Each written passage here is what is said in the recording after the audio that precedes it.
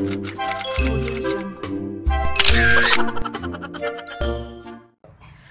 guys, it's me, your Sam. And Jezreel. so hi guys, it's me Sam. and Jezreel And today we're going to Sabio Bake Shop. to try some of their food and see if it is good or not. Yes. So. Let's go.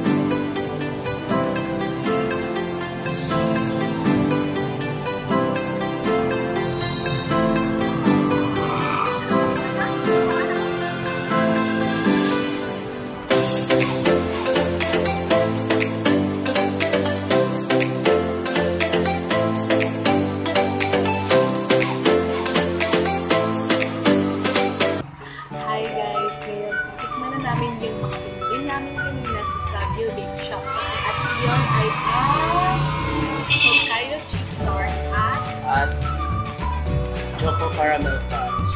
yes. So, bubuksan na natin. Look, sarap-sarap yung tingnan guys.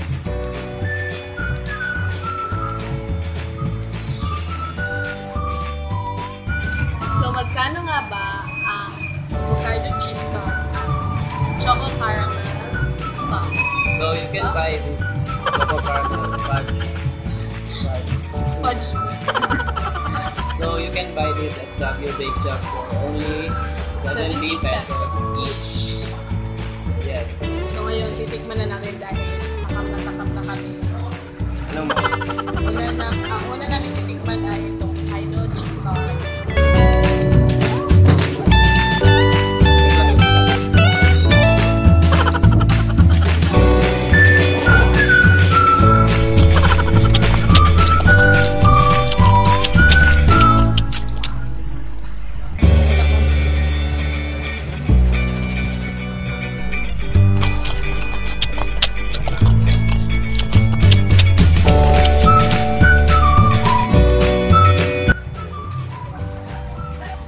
So anong masasabi mo sa Kaido Cheese Tart nila?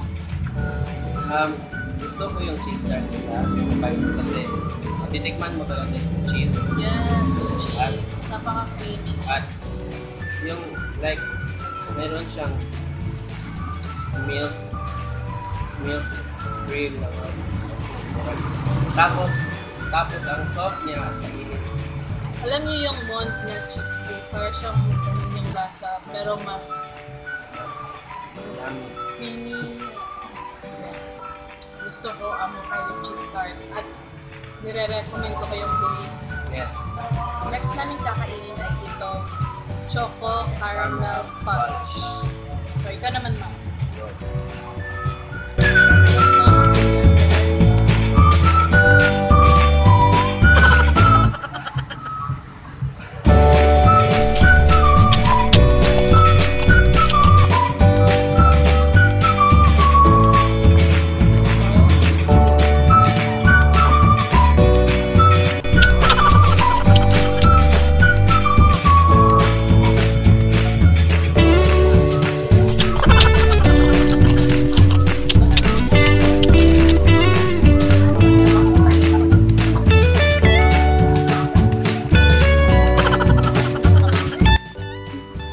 So ano masasabi mo?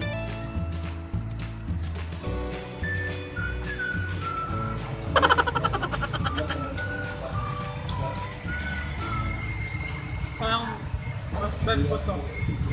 Mas bet mo? Mas bet ko to.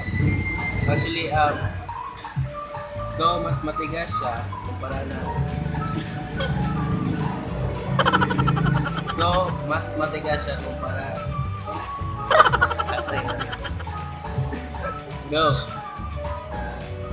So, mas matigas siya kumpara sa Hokkaido cheese star pero dahil yun sa chocolate Mm. at masarap siya. Yes. Masarap yan.